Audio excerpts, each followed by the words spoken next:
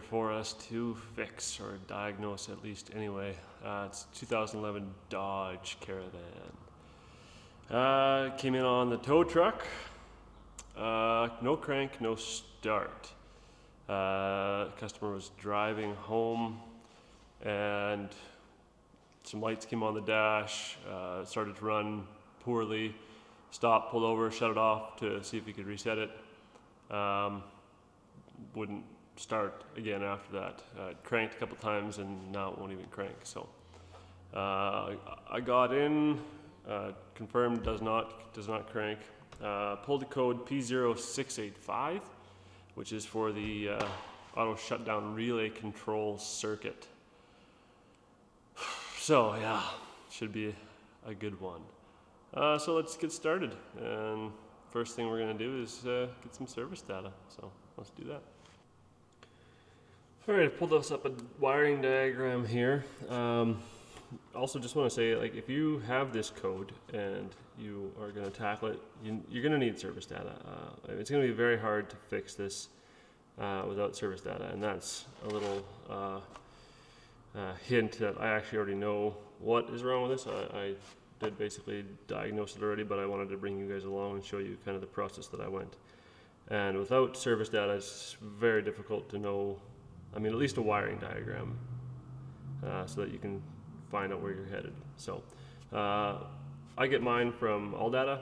Um, subscribe to it. Uh, if you're just DIYing it, uh, just go to ALLDATA DIY. You can get your vehicle's VIN uh, service data for I think it's like 20 bucks a year or something. It's dirt cheap. Uh, it tells you everything that you're going to need to know to fix that vehicle. Uh, so that even if it's something that you can't do, at least you know before you get into it, you know, whether it's something you feel comfortable tackling or not. So go there, do that, pull up your, your diagrams and your repair information, and then uh, carry on from there. So here's our wiring diagram. Um, so you got our battery here. Uh, it sends power down to the PCM uh, through this fuse. And it also sends power over to the auto shutdown relay. Uh, it sends it to both the, the switch and also the control side, or the, uh, I guess it'd be the, the, the relay part of it. Um, so this is your positive for the control, and then the uh, power control module uh, supplies the low side, supplies the ground to actuate that relay, which would then close this switch, which would then allow this battery power to make its way down um, through this fuse and to these other uh, circuits that are inside the powertrain control module. And basically, if your auto shutdown relay is not working, um, you don't you don't go anywhere. So there's a few things that we can look at here. Obviously, this relay, if this relay is cooked, um, then it's not going to either the, the circuit here or or the switch or whatever is is broken. Then we're not going to have power making its way down to the, the computer. Um, so that relay could be toast. Uh, this fuse here is uh, slot M19, this 25 amp fuse could be could be shot. Uh, we could have a bad wire somewhere in here, um, or the relay could be good, but we're not getting any control out of the powertrain control module. Uh, so we are gonna test the easiest thing first, and I'll show you kind of what we did to get there. Uh, so basically, uh, what we want to do is just test this relay and see if it's working and if it has powers, grounds, all that kind of stuff. So uh, let's go take a look at that. All right, so the uh, auto shutdown relay lives right here and the fuse is right below it here. Uh, you can just find that on the back of your fuse box there. Uh, I'm going to be using this um, relay testing device. It's made by Lisle. Uh, makes life a little bit easier for testing. So we can pull it out. Uh, here we can see where our, sorry, where are you? we can see where our pins are. So we have got 30, 85, 87, and 86 are what we're using. The middle one is not used. Um, and on here, you can see there, uh, maybe right there, they're labeled as to which what pins are which. Um, so if we put that in here, also we can notice there's no clicking, so we know there's issue there. Um, I guess the key would be on, but either way, it doesn't work. Okay, so if we look here, we know we should have power on pin 30, and we should have power on pin 85. Um, we shouldn't have any power on 87 because that's where we're going to be sending power to. And this should be our ground from the auto shutdown relay. So, pin 85 is here. That's got power, and pin 30 is on the back side here. And that's got power. Uh, 86, 87. This one shouldn't have power, and this one shouldn't have power, and it does. Now, the reason this one does, and you're saying, why is that? There can't be power on both sides of, right? So there's power on 85, all right, 85, and on 86. Well, the reason there's power on both sides is because this isn't sending us our ground. Um, so power comes through, through the the coil and right straight through because there's nothing to, to ground it. Uh, one thing that tells us though is that the relay is okay. There's continuity in the coil. We could check resistance of the relay or we could just jumper it and see if it works. Um, so why don't we do that? Uh, I've got some test leads here. So throw us uh, ground here.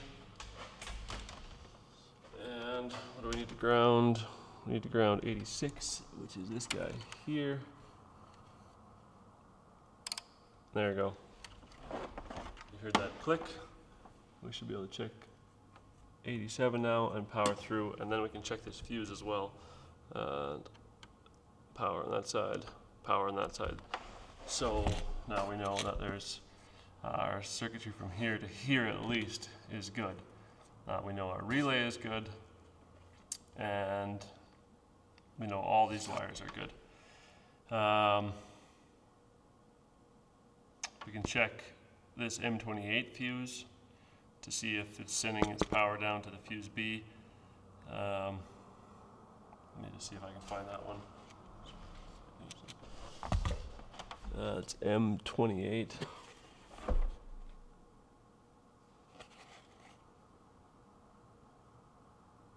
And that's this guy right up here.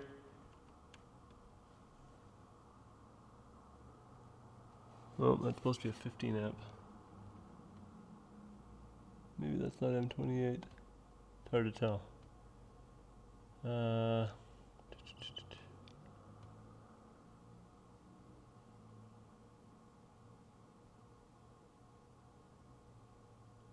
Twenty-seven.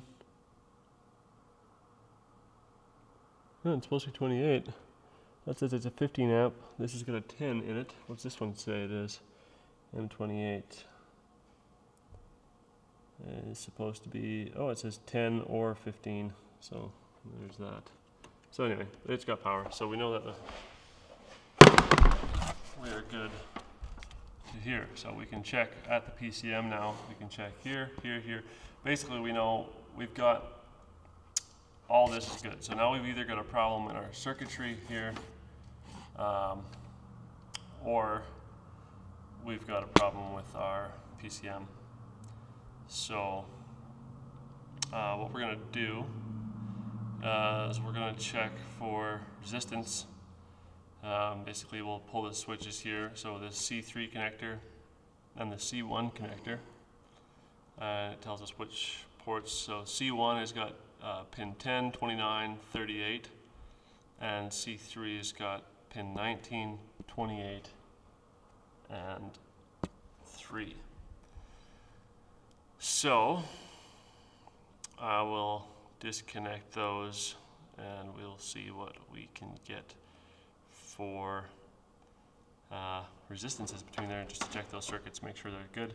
Um, at this point, you know, it's pretty obvious uh, unless we've got a broken wire somewhere, but uh, it looks like our PCM has failed. So we'll go ahead and check those wires, make sure that our resistances are good, and then, uh, yeah, basically call it.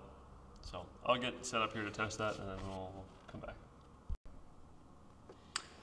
All right, guys, sorry I can't uh, get you any closer than that to see the wire. Uh, it's kind of tight up in here, but uh, basically your PCM is located right in front of your uh, driver side wheel well.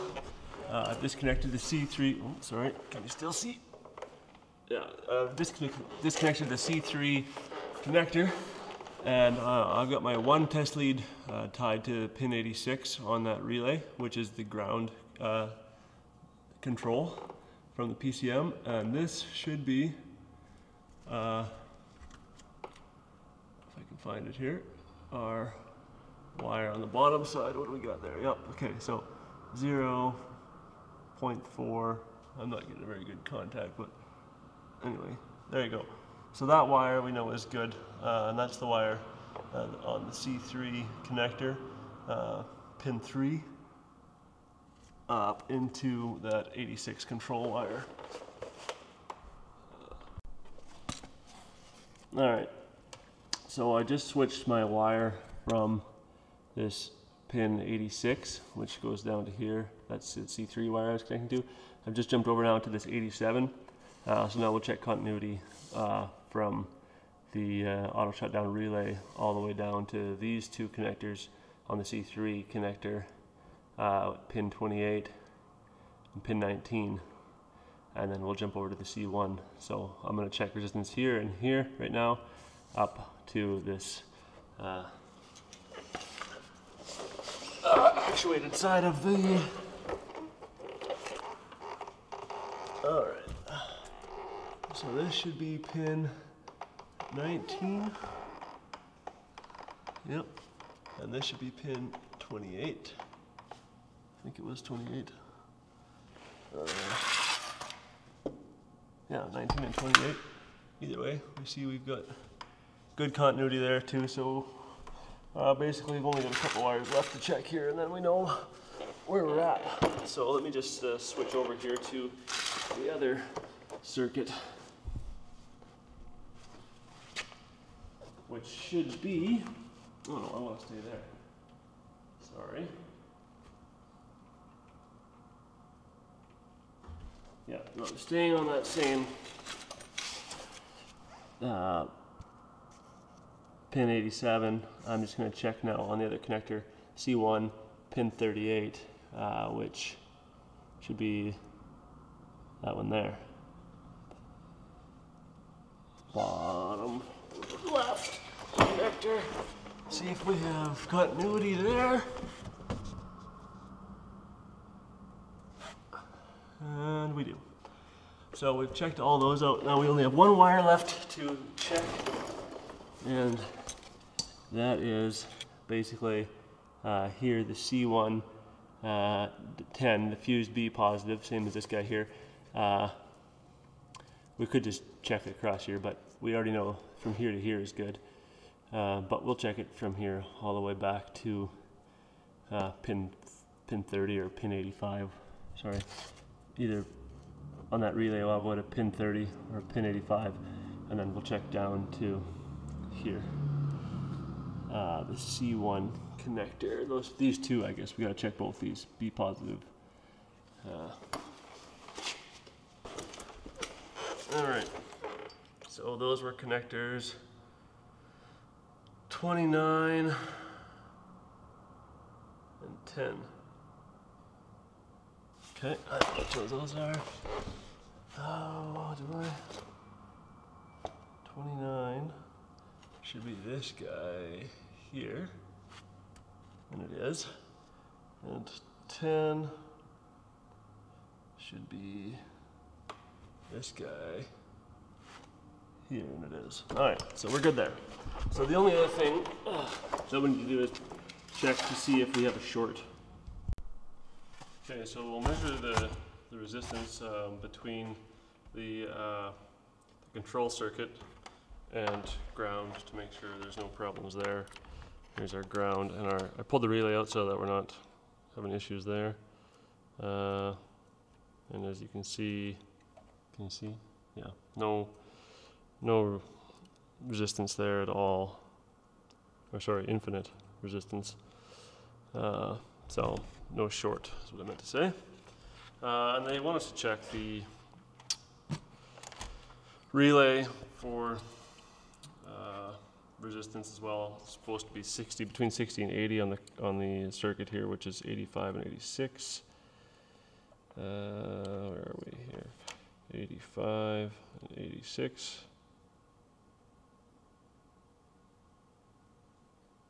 And we're 81.5, so it's it's right within spec. Um, yeah. Well, service data, so that's just going through. You know, even you can get all these steps. If you don't know where to go, the- all these steps, you know, they're all in service data. Um, so basically, circuit open, we check that. Um, short to ground, we just checked that. Uh, and then it just says to check all the wires, you know, uh, using a wiring diagram schematic as a guide, inspect the wire, uh, wiring and connectors between the ASD relay and the powertrain control module. Look for chafed, pierced, pinched, partially broken wires, uh, and so on, which we've we've done. Um, uh, perform any technical technical service bulletins. Sorry, I can't talk. Perform any technical service bulletins that may need to be applied. Uh, there are none. So basically, were there any problems found in our testing? No, everything checked out good. So where does that leave us? Replace and reprogram the PCM module. So there you have it. Uh, pretty easy to determine. We need a PCM. That is the problem I hope you do not have if you have this code. I hope it's a relay because uh, trying to find a PCM right now. Um, can't find one anywhere in the aftermarket.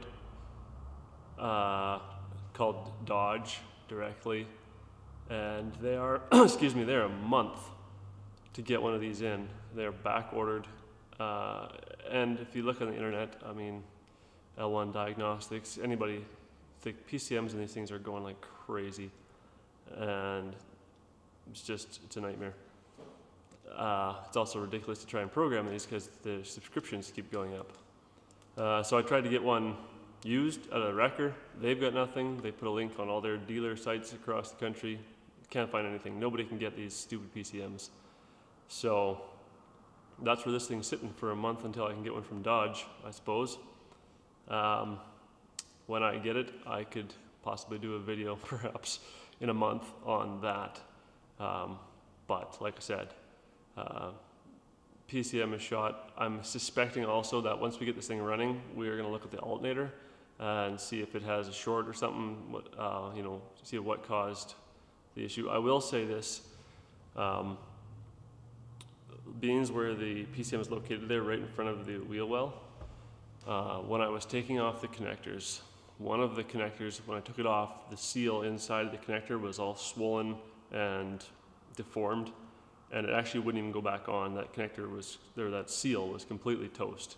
Uh, so I'm not sure if it got water in there or what, and if that's what shorted out or you know caused issues in the uh, PCM, or if that's just you know another another issue that it had that could have you know was a possibility of something uh, about to happen.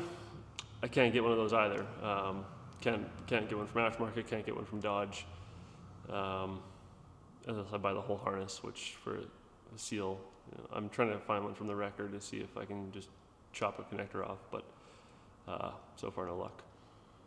Anyway, that's your P0, whatever it was, 685 or whatever it was.